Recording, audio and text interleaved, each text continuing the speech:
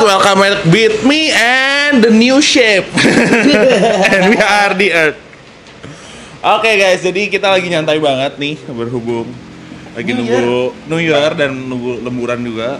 Jadi gua udah pakai pakaian main begini. Ya Alvin juga lagi belajar pakai sarung kayaknya. enak Enak ya adem ya Vin ya? adem Heeh, jadi semiriwing. cemriwing gitu guys cemriwing Oke, jadi kita sekarang mau bahas tentang pertanyaan-pertanyaan yang banyak banget macamnya di YouTube ya. Pokoknya jadi misalnya tuh ini udah berapa orang dengan pertanyaan yang sama ya. Betul. jadi pertanyaan rata-rata kita bakal jawab. Jadi mudah-mudahan berguna banget buat kalian. Hmm. Gitu. Oke, jadi kita udah punya hitungannya 14 pertanyaan ya, Vin ya? 14. Eh, 14. eh 12 14 12 66 Eh, eh, satu bonus lah ya. satu bonus Heeh. itu impression orang Impression terhadap orang. Earth ya Ya. Jadi mungkin dimulai dari siapa? Gua dulu. Oke. Oke guys, jadi gua dulu yang mulai. Eh gini, aduh enak. jadi kita ini kan ngebikin vlog itu dari awal tahun berapa nih? 2018 kali ya. Pertengahan guys, sorry bukan awalan. Jadi kita kan sebelum-sebelumnya mungkin karena banyak respon dari kalian, kita mungkin agak repot untuk membalaskan satu-satu yang gimana tadinya kita juga pengennya bisa keep in contact dengan kalian langsung gitu guys tapi berhubung eh, kita overload banget kerjaan di sini apalagi awal tahun ditambah lagi tahun kemarin itu ya ada beberapa something yang kita sudah ulas di podcast sebelumnya gitu. Jadi kalian yang belum nonton boleh eh, nonton dulu. Dan lanjut aja ini adalah salah satu respon untuk kalian semua nih yang ibaratkan udah komen-komen apa segala macem di YouTube kita langsung respon bukannya kita nggak mau respon ya. Jadi ini ada 12 pertanyaan yang kita random pilih dan tentunya responnya seperti apa dari kita juga kita langsung bisa mewakilkan langsung dari secara global tim Earth karena kita sudah bicarakan semua pertanyaan ini juga dan jawabannya seperti apa dari tim kita semua di sini kita yang wakilkan gitu guys. Jadi mungkin diselang-seling aja kali ya. Jadi pertama gua, kedua Diki, langsung ke gua Diki. Jadi kalian juga bisa lihat tambah random lagi gitu ya pertanyaan-pertanyaannya. So langsung aja guys, Eh, ini gua kasih tahu ada yang nanya pertama ke gua adalah soal topik sepeda mini velo guys ya. Itu pertanyaannya dari Om Hayden Kristensen Wijaya. Halo Om. Sebelumnya thank you dulu udah eh, kasih respon ya ke kita punya vlog. Eh pertanyaannya adalah Om itu mini apa mini velonya frame berapa dan ukuran berapa? Oke Om, kalau untuk mini velo yang ada di Mini Cooper gua itu frame 20 ya dan tentunya kalau frame-nya sendiri itu dari Jepang Om. Dia mereknya Bridgestone gitu. Jadi eh, mungkin di Indonesia ya lagi tren-trennya banget gitu kan sepeda mini gitu tapi kalau yang velo itu tuh jadi ibaratkan kayak sepeda model RB road bike road bike tapi versi kecil nah itu sebutannya adalah mini velo gitu jadi yang buat kalian belum eh, mudah-mudahan ya gimana nih belum paham-paham bener soal sepeda gitu melalui pertanyaan-pertanyaan dan tentunya jawaban kita di sini bisa menambah ilmu buat kalian semua gitu ya Dik ya. So langsung aja Diki pertanyaan yang kelu punya gimana? Oke, pertanyaannya nih dari dua orang ya. Pertama dari Mr. Albert Liman dan dari Mr. Dede Sutrisna. Gila pakai Mr. gue biar keren deh. Oke, pertama ini banyak banget yang nanya, jadi gue mau sekalian jawab. Alamat di mana? Alamat itu kita ada di Brigjen Darsono Bypass nomor 152 Cirebon. Itu pokoknya kalian kalau ke hotel Cirebon, kalau di Cirebon lihat aja cari aja hotel Aston itu cuma satu sih di, Cirebon Aston ya. Nah, kita di seberangnya. Itu gampangnya. Terus nomor WA, nomor WA bisa langsung cek Instagram kita, linknya ada di sini. Ini ada tujuh Instagram Iya. kita banyak. Bener, jadi dari kalau gue supetin sekarang kalian capek nyatet nih. Jadi, jadi lihat di situ ya nomor WA-nya. Terus rip, eh, ini digabungin ya pertanyaannya. Repaint full body berapa di luar mobil kijang? Hmm, mungkin starting ya. starting kita di sini dari 14 juta. Itu yang sta- basic banget. Jadi buat eh, kalian yang kepo-kepo langsung aja ke Art Premium DM buat pokoknya mobil kalian apa apa restorasi Iya, mau diapain mau aja. cek, Jadi itu custom, harganya boleh beda-beda. Jadi kita nggak bisa jawab spesifik kali ya. yang nggak bisa langsung terjitu Ya, ini 14, 14 tapi gini bang, bumper gua pecah, pintu gua penyok, atap gua setengah gitu. Tuh gua ketimbun di dalam lautan atau Iya. apa wah mati itu beda juga lagi kita bos, ya. beda lagi. Oke, jadi gitu. Oke. Oke, lanjut. Oke, pertanyaan berikutnya. Wah, ini asik sih dik, topik motor sih. Motor modifikasi Kawasaki Ninja Air Convert Serpico pakai blok PDK Gold ya. Dari IR Irawan mungkin. IR itu apa ya? Irawan. Insinyur, Insinyur Fak pakai. Iya. Eh gimana sih? Bisa ini, bisa. Pokoknya ir.fqh. Pakai. Fakih ya, Bang Fakih. Ya. Thank you Bang, udah ngasih pertanyaan. Kalau pertanyaan yang benernya adalah fairing Serpico sekalian bracketnya dapat harga berapa Bang? Oke. Kalau untuk jadi gini, kemarin-kemarin gua tuh sebenarnya beli fairing Serpico itu ketengan guys. Jadi Serpico gua itu bukan yang 100% tuh feel apa buildnya tuh convert 100% sama karena basic rangka motor gua tuh Ninja Air ya. Ninja Air bukan yang kayak Serpico yang rangkanya tuh kayak huruf J gitu. Nah ini sekalian ibaratnya gua imbuhin informasi buat kalian. Kalau untuk rangka Serpico-nya sendiri itu kalian bisa dapatkan harganya sekitar 8,5 sampai 11 juta. Rangka tok. Dan rangka Serpico itu terbagi jadi dua tuh. Ada rangka yang depan yang untuk gantung mesin dan rangka belakang untuk yang jok. Jadi kalian harus benar-benar perhatikan baik-baik. Buat kalian yang convert ibaratnya nggak mau detail yang mending kayak gua gitu. Nah ya. setengah aja. Jadi iba- ibaratnya kayak facelift siluman lah gitu kan. Ditambah lagi kalau ini pertanyaan soal fairing Serpico gue cuman bisa jawab fairing fairing depan Serpico gue itu bahannya dari fiber. Dan tentunya kalau yang harus kalian perhatikan plastik tuh ya sih? enggak. Kan kita kan bikin karbon sendiri. Iya, yang windshieldnya oh plastik tapi rusak. Gue dapat dari Oh, iya. pembelinya kayak eh penjualnya begitu. Parah banget sih. Jadi kalau fairing itu terbagi dari tiga bagian guys. Fairing ke bagian atas itu satu satu kesatuan tuh. Sama fairing bagian bawah dan ada windshieldnya. Dan tentunya ada lampunya juga. Gue langsung akumulasi total ya sama lampu-lampu yang sennya kan juga tertanam di bodi tuh. Ada kaca mikanya kan yang oranye tuh. Gua habis sekitar lima setengah itu. Itu lima setengah tuh fairing depan doang ya jadi buat kalian juga yang mau convert convert ke Serpico sih menurut gua asik juga sih. Karena kenapa ya? Beda dari yang lain aja gitu. Karena di pasaran Indonesia banyak banget KRR alias yang suka di convertnya tuh malahan ke Vegeta gitu ya guys ya. Yang banyak dua tak touring apa turun touring drag-dragan disentul kayaknya pakai fairingnya tuh yang Vegeta semua, yang KRR semua. Jadi kenapa gua pilih Serpico karena itu sedikit berbeda dari yang lain gitu. Jadi gitu guys, mungkin per- eh, jawaban dari kita kita di sini. Lanjut dik. Oke, ini yang kedua eh, topik membaca mem- topiknya yang mencoba membawa modifikasi Mitsubishi Expander ke Bali. Oh, yang kita ke Bali tuh. Dari Alimudin Hamid. Hah? Oke. Enggak, guys, bukan kenapa-napa nama lu salah ya, tapi ada temen kita yang nama ini juga, jadi lucu aja gitu. Oke, jadi eh, dia nanya gini, body cape-nya mantap, koma. Bagaimana pesannya kalau posisi di Makassar tanda tanya? Nah, Ini ada tanda bintangnya juga. Kata-kata kita jangan dibaca, cuman gue bacain aja. Jadi sekaligus, nah ini gini guys, sekaligus menjawab semua pertanyaan yang ada dari luar kota. Tenang aja, kita mau sampai ke luar negeri juga bisa. Kita kirim, di packing, di bubble wrap segala macem body kitnya. Jadi kalian pokoknya misalnya di Makassar kayak mau di Papua kayak Lagian kita mau udah di worldwide shipping. udah worldwide. Pokoknya kita Udah udah bisa kirim ke mana pun, udah worldwide semua. Jadi kalau kalian masih di Indo aja tuh gampang banget. Jadi jangan ragu. Dan masang kita plug and play. Jadi kalian nggak usah potong-potong sama sekali, langsung aprek tak. Nah, udah pasang gitu. Terakhir aja tuh di NTT ya Ignis tuh. Ignis. NTT sih. Itu di sama chat, yang nggak sama chat yang FD Saber tuh di Riau. Riau itu juga langsung ke Pasar. Jadi tenang aja kalian kalau di luar kota nggak usah harus ke Cirebon. Tapi kalau kalian masih di Pulau Jawa, sekalian aja bareng bareng bareng sama kita biar di vlogin bareng. Terus foto-fotonya lebih asik deh gitu. Oke, aja Malvin. Lanjut guys, pertanyaan ketiga untuk apa nih? Topik podcast sama common. Oke, common. Come on bukan cam on anjay. Dari Quick Gameplay YouTube. Get Quick Gameplay YT. Halo Bang, thank you. Halo sis, thank you. Gua nggak tahu sih bang atau sis, soalnya namanya nggak ada gendernya gitu. gender. Jadi thank you dulu udah ngasih pertanyaan. Pertanyaannya adalah body kit Saber universal untuk semua mobil. Bisa request juga.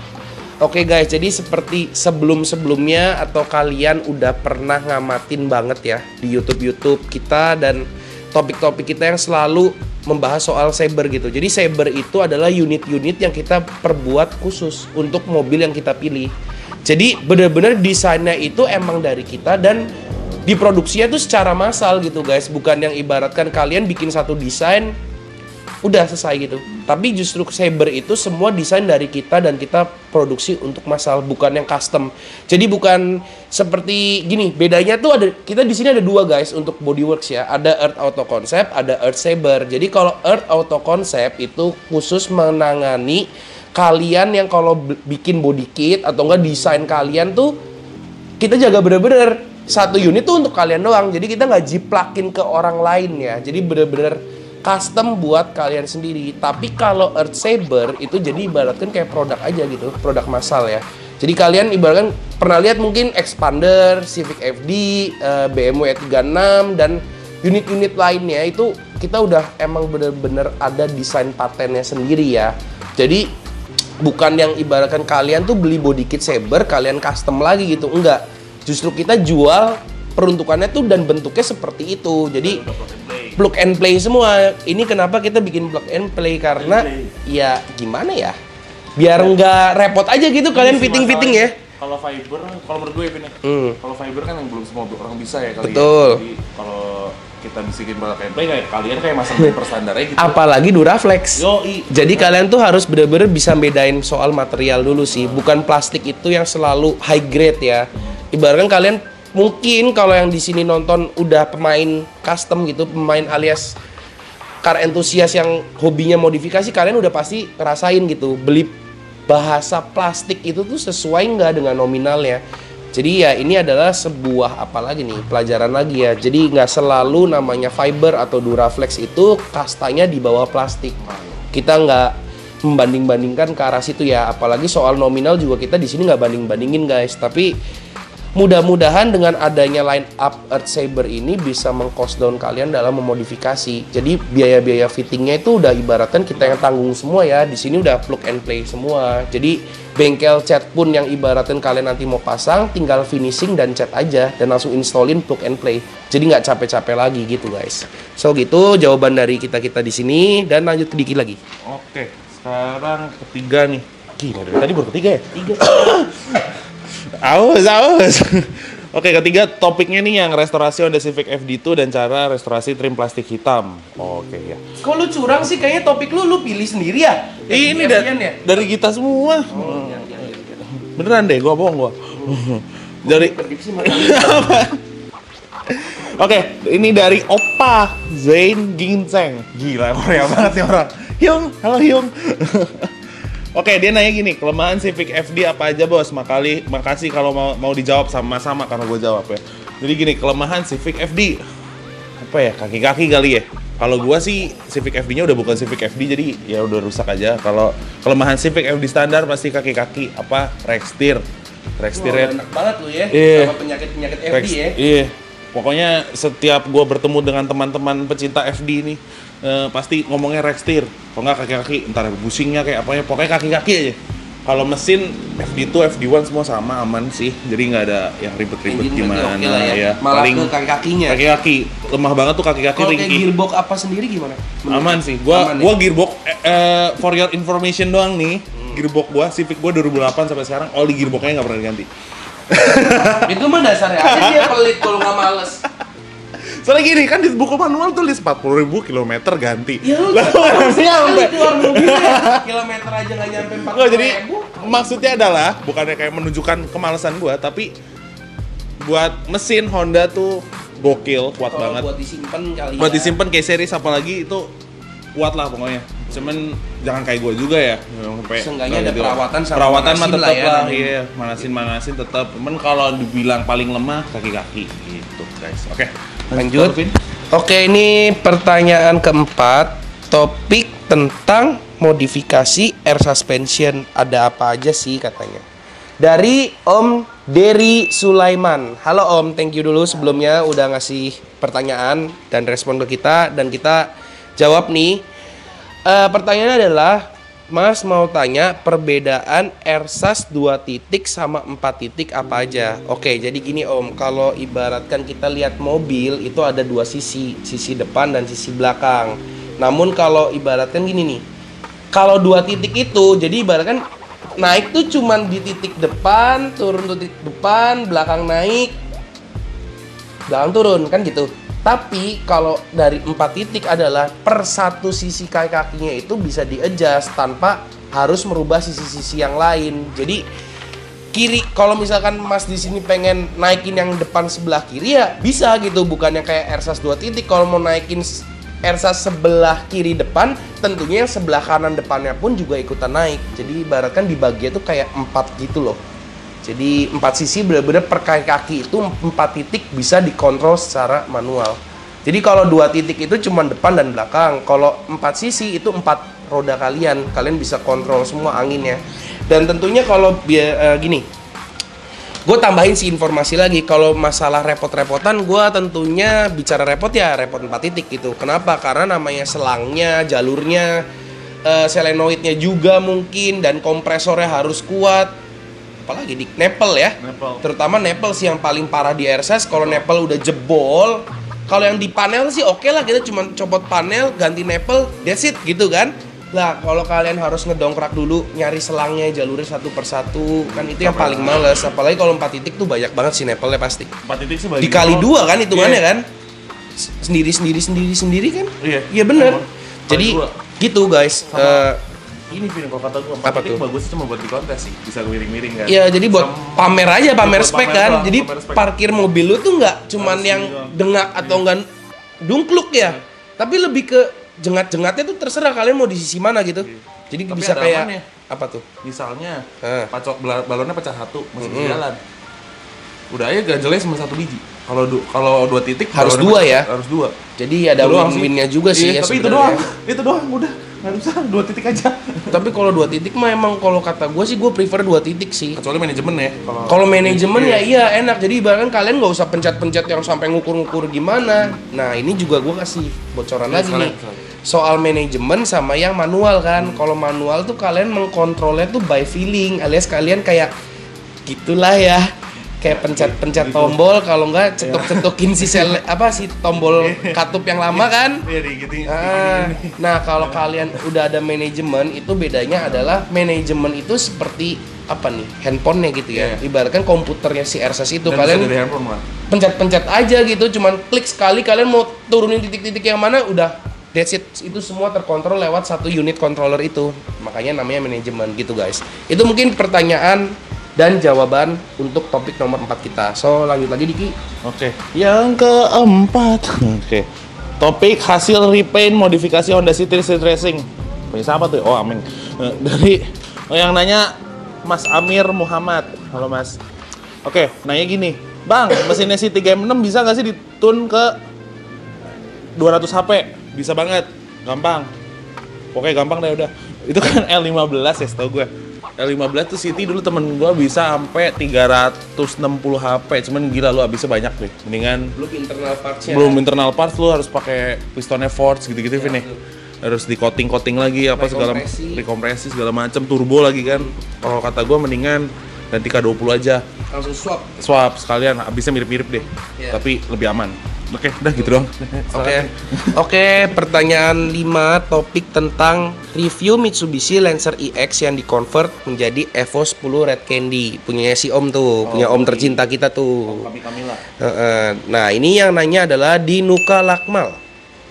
Dinuka Lakmal. Oke, Bang, thank you dulu udah ngasih pertanyaan. Dan kebenaran yang gua gokil, ini kenapa language-nya different with the others topic ya. Ini pakai bahasa Inggris sih, gua nggak tahu ini Kak Gita ngerjain gua atau gimana. yang jelas spelling, spelling. My fifth car is Evo X, but in my country, Evo X is only a dream. So I'm planning to buy EX and then convert it to a Evo X. Is it possible? So, gua harus jawab pakai bahasa Inggris atau pakai bahasa Bahasa Inggris. Bahasa Inggris dulu ya. Oke, uh, it's so possible to convert the EX into the X Evo ya, because the difference is just for the front bumper, rear bumper, hood, tank mungkin, ya. Uh, Front fender, side skirt, fender, ha, it's a lot ya, quite a lot gitu kan. Jadi But you can buy the part ya. Yeah, you can buy the part from the junkyard maybe ya. If you came from Asia, you can looking for uh, in Malaysia or Singapore. So that's why kalau kita di sini, we are in here have uh, cetakannya apa ya bahasa Inggrisnya? ya? Molding. have the mold ya for the Faris Evo 10. So you can easily check our Instagram at earth underscore garret and store. So you can see the price and then we can arrange about the shipment. Ya. So jadi gitu guys, gue tadi ngomong pakai bahasa Inggris sedikit.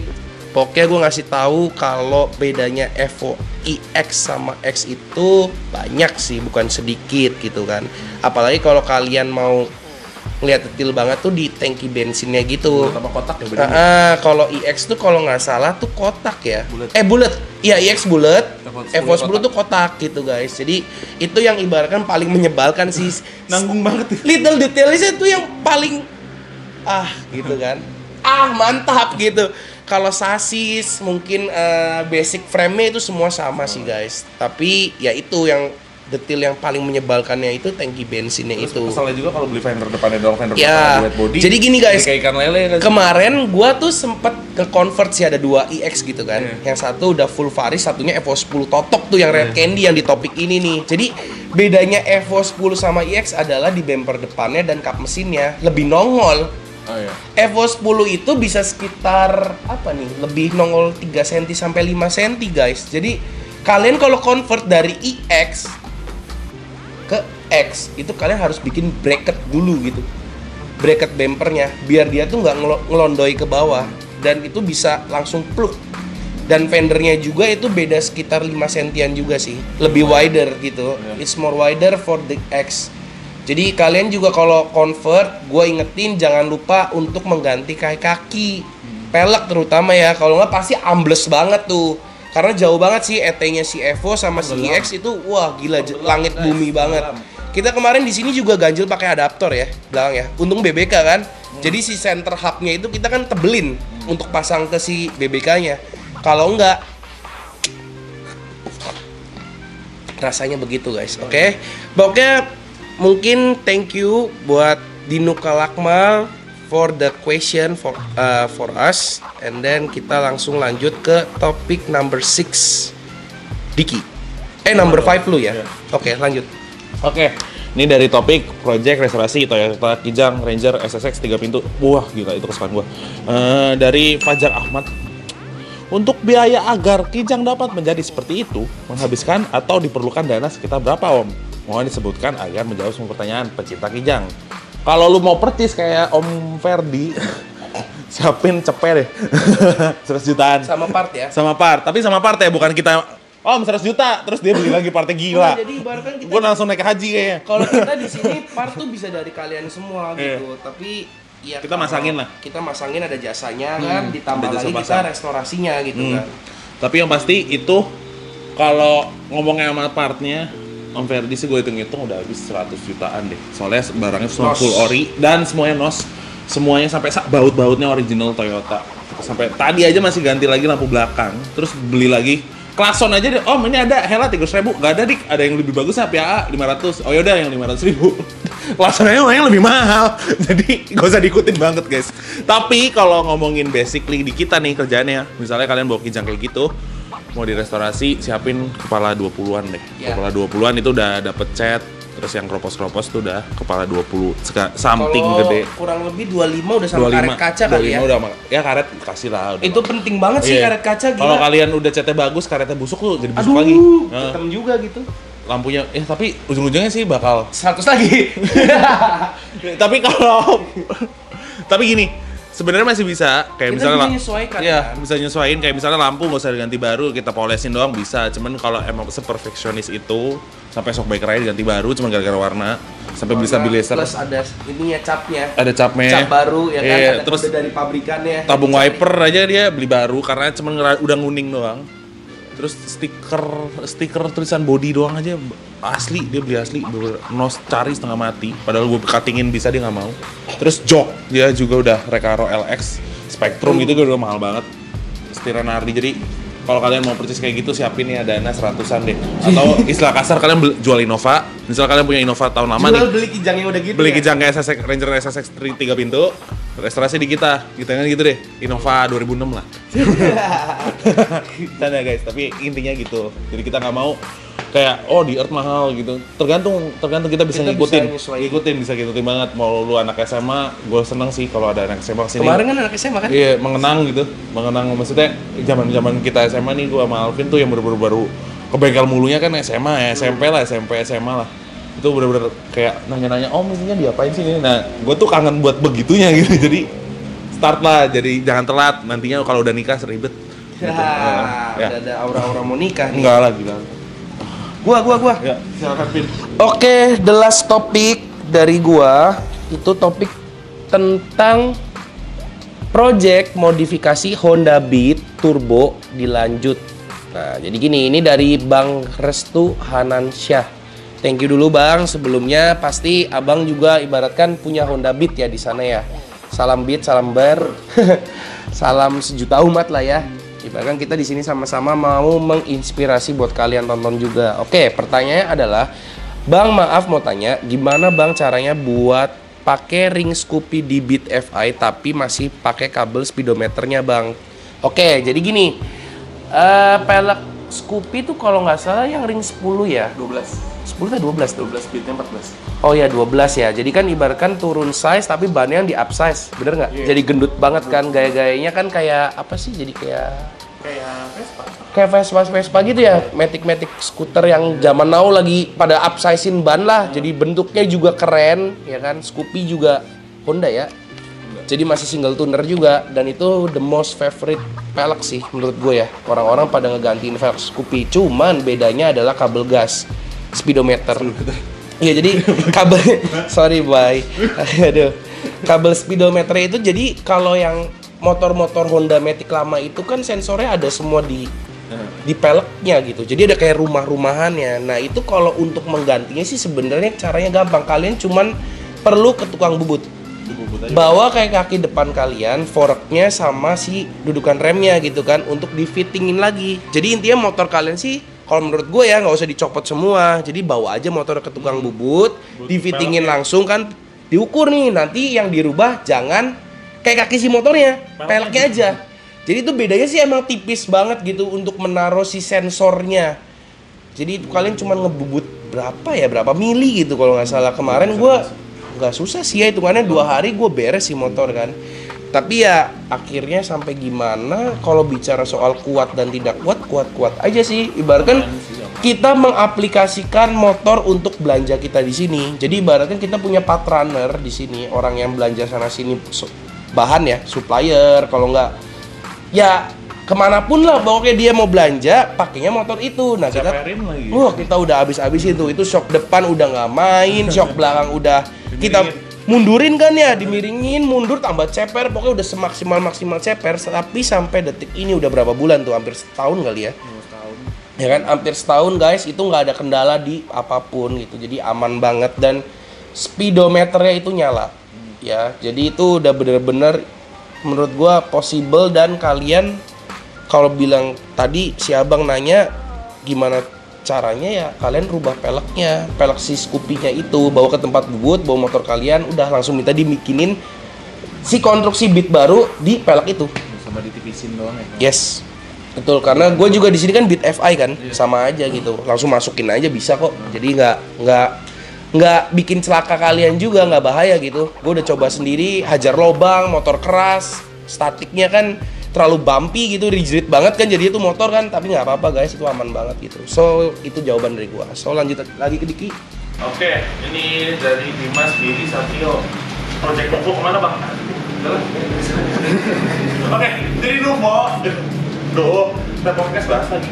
Oke gini, kalau Novo. Novo sih kayaknya gue udah gak punya Novo kayaknya. udah 8 bulan. Padahal cuma naik ke 200 cc. Kayaknya sih nanti keluar-keluar dua silinder, dua silinder, Empat silinder dong. ya 4, 4 silinder 600 cc kalau nggak 1000 cc kayaknya. Iya, jadi ZX Nuvo R. Yo, anjay. Kan gue bikin nanti 4 silinder aja. Pokoknya gini, projectnya itu gue sama Vinonya Alvin tuh sama. Eh Vino ya? Vino Scoopy sih. Eh Vino. Heeh.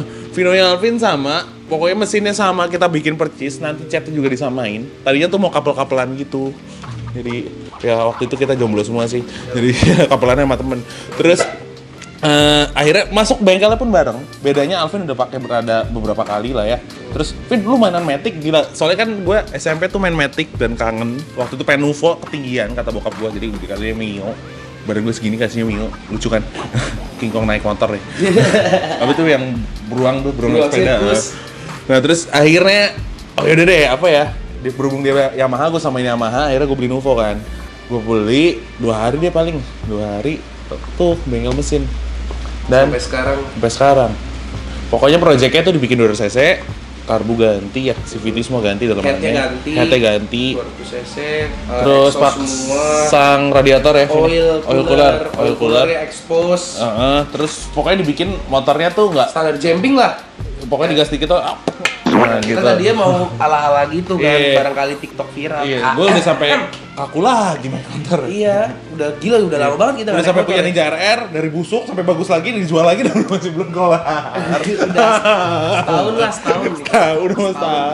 Gua nggak ngerti dah itu. Gue ngerti apa gimana. kurangnya dan gue juga lupa mulu sih mau nanya. Terakhir nanya tuh katanya masih Ngantri. ngantri di tukang bubul si blok bawahnya. Gue nggak ngerti diapain. Kayak dilapis emas deh. Iya. Dilebur emas, Iya. baut-baut dari berlian. Heeh. Kayak gitu. Tapi ya gue berharap sih keluar at least dua silinder deh keluarnya gue masih rela gue sih cuman berharap satu. Jadi aja si motornya. Bengkel itu si ya kita sebutlah Mr. X Heeh. bisa ngelarin sesuai request kita nggak terlalu marah soal waktu walaupun sebenarnya kita juga kangen sama motor-motor kita Tapi ya. maksudnya yang ngerti. Ya udahlah kalau emangnya sibuk, ya udah. kita ketemunya seniman lagi ya udah Ya gitu. udah. Yang penting nanti hasil selesainya maksimal. Gitu Maksimal. aja sih kita doanya guys. Soalnya kalau ngeliat hasil saya emang sebenarnya bagus ya. bagus bagus Kalau bagus. itu bagus banget dan kenceng banget. Hmm. Vino juga ya. Jadi sudah pokoknya kalau yang nanya masih di bengkel dan ya kalau udah kelar sih kita update. Tenang kita nggak jual kok motor itu. Eh, kita nggak jual, yang dijual Ninja. Ninja yang goodbye ya. Ya, Ninja goodbye karena gua kayaknya pengennya Ninja R. Tapi akhirnya udah mager juga sendiri karena Alvin juga udah gak naik motor lagi. Mungkin nanti kalau Nova udah jadi kayaknya kita, Kita motoran lagi deh. dan semangat lagi naik motornya. Gitu. Oke, ini respon yang ketujuh Dulu nih, langsung deh. respon doang. Oke, jadi penutup juga dari Bang Lik. Gila Indonesia bangga punya. Kita juga bangga punya bekas subscriber kayak kalian. Jadi thank you banget. Tanpa kalian kita bukan apa-apa di sini. Jadi eh, thank you buat semua yang udah percaya sama Earth. Thank you juga semua subscriber, semua positif komennya thank you, semua positif komen yang membangun juga thank you. Yang ngomong, "Bang, kurang inilah, kurang itulah." Thank you banget. Itu yang benerin kita sekarang sampai kita nge- nge-vlog sampai gim, pakai gimbal segala macam biar bikin kita lebih serius. Jadi udah thank you banget. Dan jangan lupa juga 50k, tolong nih gua ada gatel banget. Dia kasihan guys ngeliat mobil-mobil gue tuh ibaratnya udah kayak pada pengen jadi, pengen jadi. Iya. Mobil Dia- gua jogrok semua. ah mantap. Ya nanti E39 paling udah mau beres, nanti ditungguin aja. Berhubung ya, ini lagi ada sesuatu secret project di dalam oven. Nanti pokoknya bakal reveal juga kita ada secret project 2021 yang paling pertama keluar banget dan masuknya juga 2021. Jadi ini spesial banget dan kalian bisa lihat nanti di Jakarta pokoknya. Tungguin aja dan Unitnya show off show off dan Mudah-mudahan keren sih- banget. Pokoknya gaya gua, gaya gua banget, gaya gaya banget mobilnya. Gaya gua banget. Oke, jadi Oke. mungkin udah kejawab semua. Ini baru 14 pertanyaan, eh 6, 12 pertanyaan yang udah begini, nggak tahu kalau 100 pertanyaan yang kita jawab. Kayaknya kita udah sambil tidur-tiduran. Iya. mikir Terus udah mau pas lagi jawab, eh tadi nanya apa ya? udah gitu kali. Iya, Jadi betul. segini dulu, kalian aktifin aja nanya. Pasti Eh, kita jawab. Pasti kita jawab. Oke, jadi mungkin gimana Vin? Penutup silakan. Oke, mungkin sebelumnya kok kayak kondangan ya gue ya. Jadi biar kalian nggak kepanjangan durasi intinya thank you banget sampai ada yang udah nge-respect kita ngomong seperti itu bener kata Diki kita bukan siapa-siapa tanpa kalian dan tentunya kita akan selalu mengembangkan dan mudah-mudahan bisa menjadi inspirasi buat kalian dan tentunya mewakili Indonesia ke dunia ya. Pokoknya tetap di visi misi itu dan kita tetap butuh banget dukungan dari kalian. Sebelum-sebelumnya udah ngedukung thank you banget guys. Buat good comment mau negatif komen gue tetap ucapin thank you. Yang jelas Membangun. membangun banget nih. Kita ibaratkan udah yang sampai titik ini nih bukan suatu hal yang gampang ya apalagi tanpa kalian itu udah kayak wah susah banget sih parah. Yang jelas kita cuman bisa ucapin thank you thank you terus sampai detik ini juga ke kalian gak nyangka ya. Dan tentunya bantu Diki 50k dia kayak mau balas dendam guys karena dia kalau udah 50k empik dihancurin dia pasti nantang gua balik. Gua entah gua nggak tahu itu berapa kali lagi nanti mobil apa lagi yang gua harus korbanin guys. Ya tapi selama untuk menjadi tontonan buat kalian tetap akan gue lakuin karena kalian sudah sangat baik sama kita gitu. Kunci itu thank you banget. Mungkin podcast kita tentang 12 topik pertanyaan random dari kalian dari subscriber kita ini udah kita jawab semua. Thank you for watching and be the best on earth guys. Ya